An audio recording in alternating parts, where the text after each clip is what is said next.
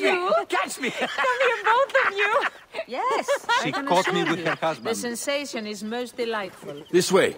Oh, don't worry. She doesn't hold a grudge. Bees? Mm-hmm. Where is my opium pipe?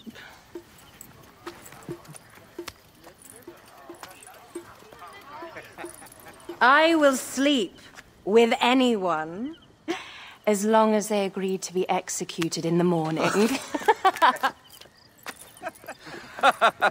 Like Xantivis. he was well satisfied with his bargain. Who is this toothsome fellow?